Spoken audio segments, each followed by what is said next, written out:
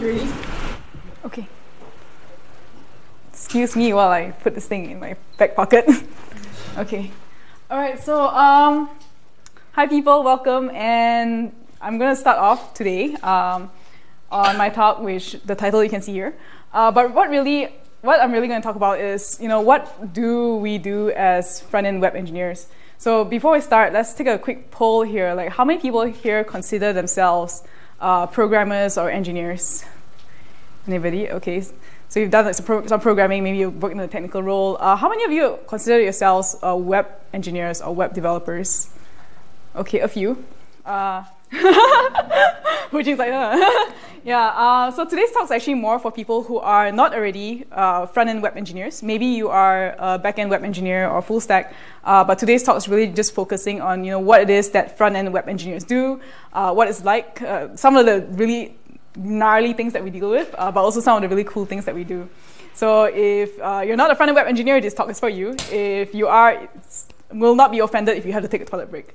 So we're gonna start. Um, so my name is Sher Minn. Um, I'm actually a Malaysian.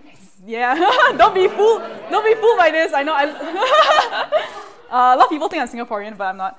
Um, and I'm currently a front-end web engineer at Viki, which is uh, where we're hosting this event right now. And uh, what I do is front-end web engineering things. And what exactly is a front-end web engineer? What do we do? Like, you know, it's such a mouthful, front-end web engineer. Um, uh, some other terms that you might have heard that sound similar are like you know web developer, web designer, backend web engineer, full stack web engineer, UI engineer, UI UX developer, so on and so forth. Um, but for the purposes of this talk, I'm going to be using the terms engineer and developer interchangeably, and you just have to know that all these terms are really uh, refer to different specializations in a larger subset that I just call front end web. Uh, so yeah, it's it's, it can be kind of confusing at times because people use different terms, but generally we there are some differences, but generally we refer to the same thing.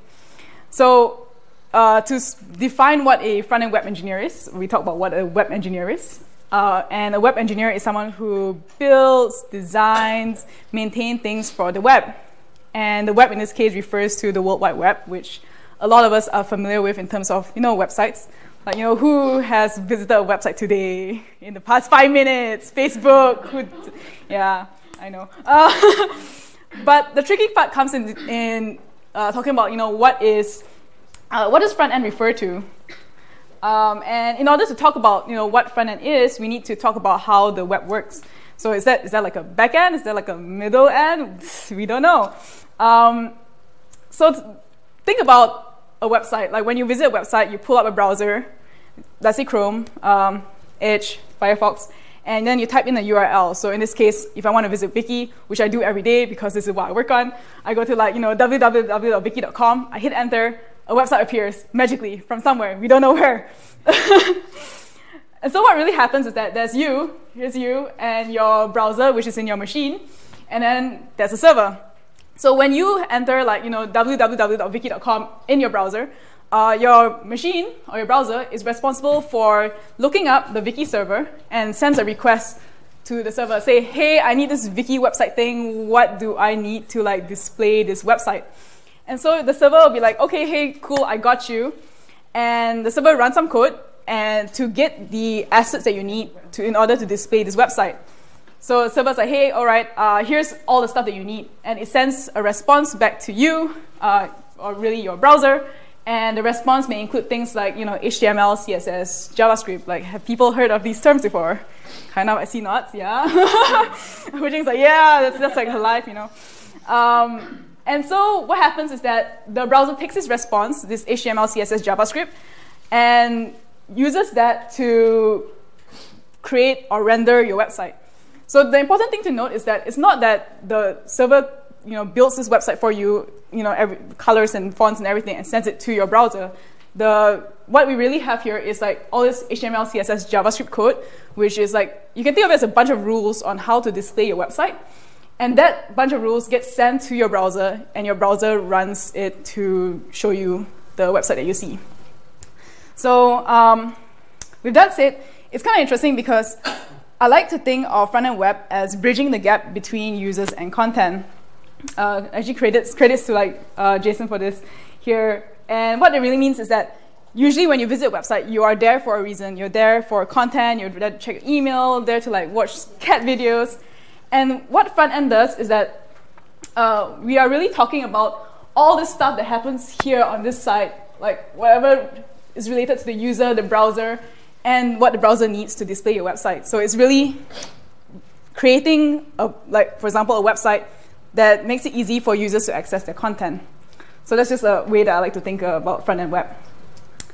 And because you know we are dealing with users, we need, also need to understand how design works. There's a very like human interaction element to it, and it may include things like you know what makes it easy for a user to read this article, what makes it easy for this user to like find episodes. So we have to keep that design mindset there.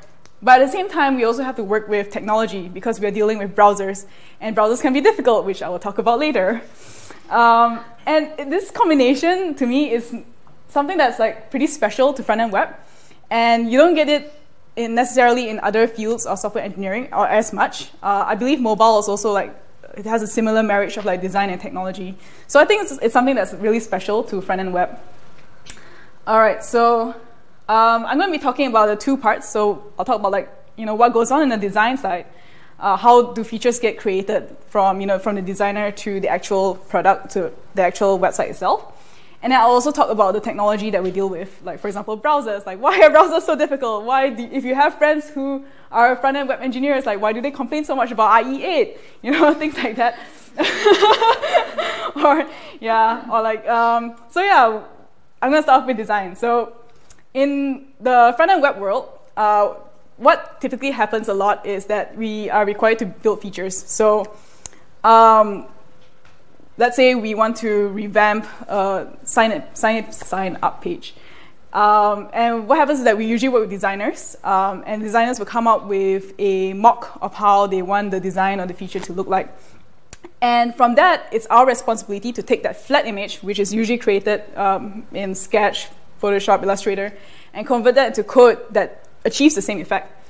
So, um, like, you know, one of the examples that I worked on recently was to re, uh, rehaul our login page. So this is actually like the design model. It's like an, a flat image itself that the designer sent to us. And from that, we actually create it so that, you know, it displays in your browser. And you can see that there's some differences, like uh, it's not exactly the same. And you know, design is an ongoing, growing process, so things change along the way. So I'm going to run through like a really simple example of like how you know that process happens. And in order to talk about how that happens from an image to code, uh, we need to talk about the building blocks of websites. So uh, there are three parts. Like most of us hear the terms like HTML, CSS, and JavaScript together with the whole like web development thing.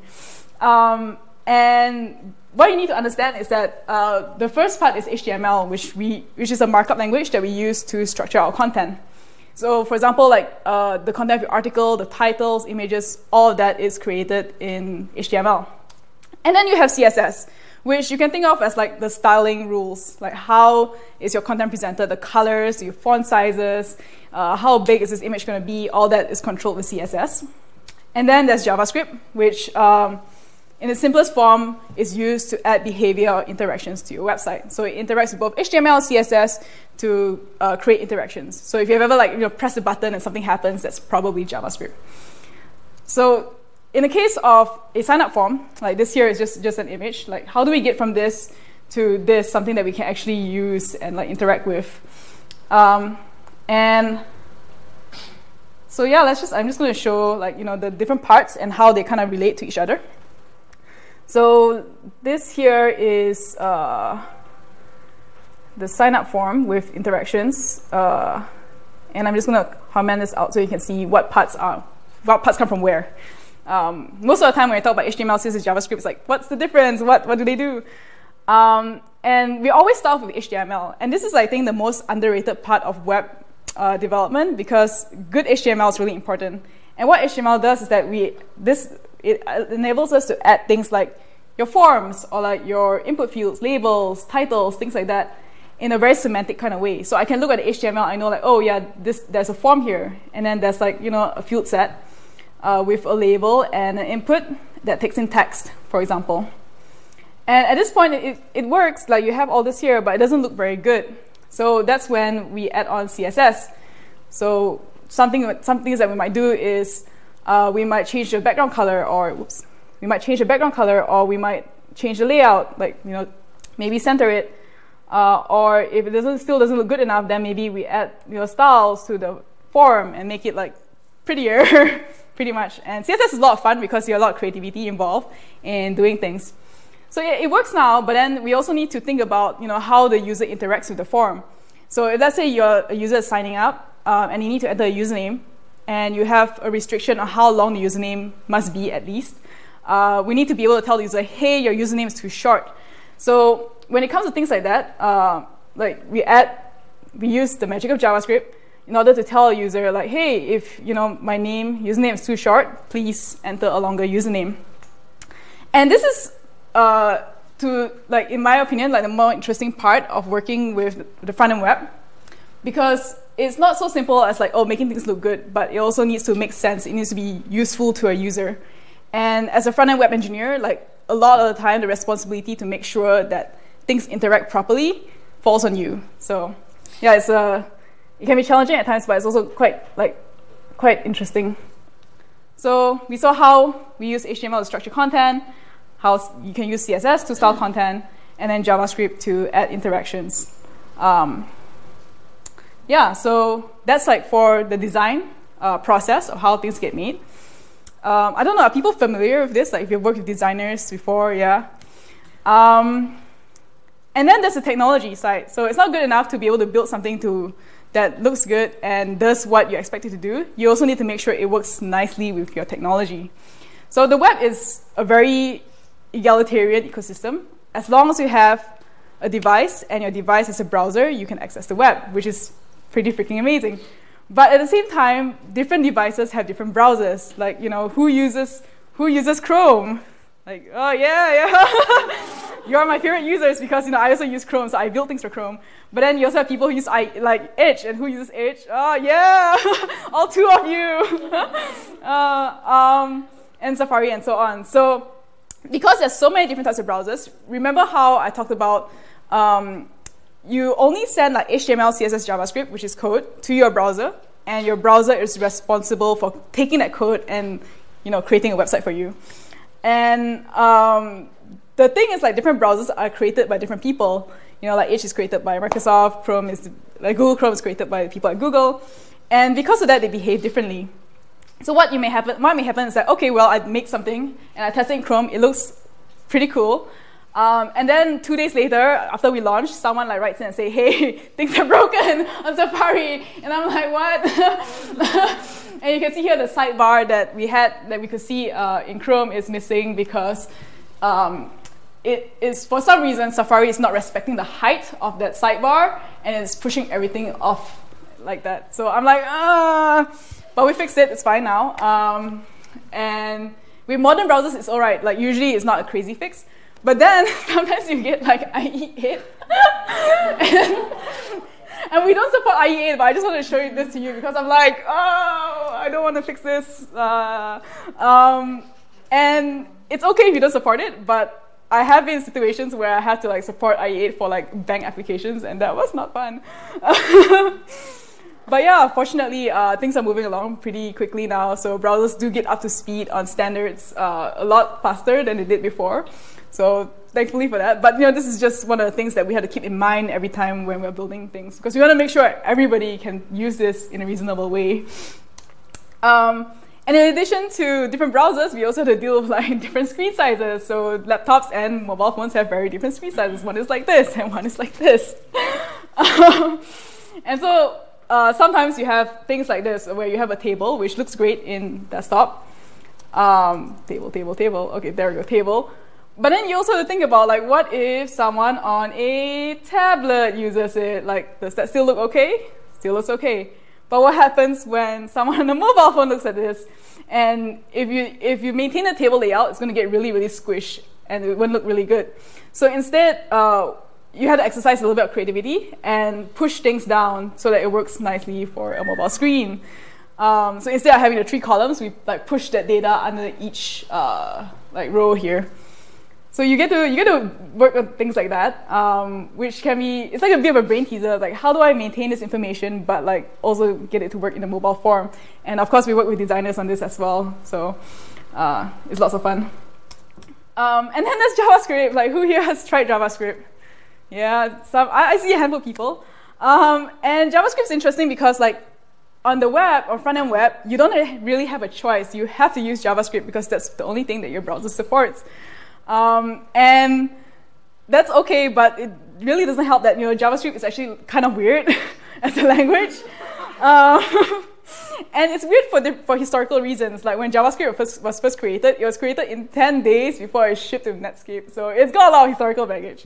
Uh, but just to like show you like why, why is this like, uh, why is JavaScript weird? So let's say I have Ruby. Uh, Ruby is a pretty, it's a pretty reasonable language. Uh, in Ruby, I have like, you know, for example, division. Division works great. But then uh, what do you think happens when I divide by zero? Error. yeah, an error, an error is reasonable, right? You'll be like, uh, you try to divide by zero, that's not legit. Too bad. If you try to divide by a string, it's like, uh, you can't divide by a string because a string can't be a number. I don't know if y'all can see this. Oh my god, no, you can't. yeah. Okay, anyway, uh, just know that's just an, er an error there. I'm just gonna like bump this up. Okay, no, that did not, that did not work. Um, so okay, Ruby's reasonable. It's good to know like something went wrong. But then let's say you end up with JavaScript, and then you have let's say you know uh, let's say regular division works fine, great, so far so good. But what do you think happens when you divide by zero? Undefined maybe, some nil, yeah. So 42 divided by zero in JavaScript is infinity, and I'm like, I'm like, why, why? Um, and there's, there's actually like a reason behind this is, is because like the way that JavaScript decides to deal with, with floating point numbers kind of makes it uh, seem as though, okay, well, you're kind of tending towards infinity when you divide by zero, but I don't fully understand that either. and, and then what happens when you divide like, you know, when you, when you do um, negative 42 divided by zero? What are you gonna get? And I was like really amused because it's actually negative infinity. And I'm like, well, what, what happens when you do infin infinity minus infinity? Like, you know, are you going to get zero or something? Like, how does that work? It's like, no, it's not a number. and, and JavaScript is kind of funny because, uh, like, not a number uh, actually just means that, oh, you try to do an invalid mathematical operation, you are a bad person, so I'm not going to give you a number. So here's not a number. So you get all this like weird quirkiness, but at the same time, like JavaScript is a bit of a misunderstood language. Uh, if you take time to like figure out like the quirks and why it's like that, um, it's actually a really powerful language because everything, literally everything that you see on the web is powered by JavaScript. Like this presentation is actually, you know, a website. It's it's built of the web. JavaScript's powering it. Like this REPL here, this console, that's powered by JavaScript. So any games you see, any 3D like crazy stuff that you see, all that is powered with JavaScript. So it's a really powerful language, very versatile, does a lot of things but often misunderstood. so yeah, and then like my favorite thing to do is like you know uh, what what is what is so you have type so type of yeah in JavaScript and it tells you the type of a thing, and then if you do like type of not a number, guess what type of not a number is? it's a number. like, but it makes sense because you are using not a number is returned in place of a number, so it's a numerical value, but it's like it's an invalid numerical value. So, yeah, JavaScript. Um, but it's a great language if you get used to it.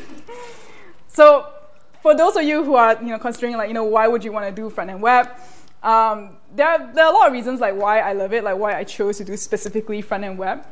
And the biggest part is because you know you have this like creative thing combined with like a technical thing, and because of that, you get to do a lot of crazy stuff. Like just there are just so many possibilities.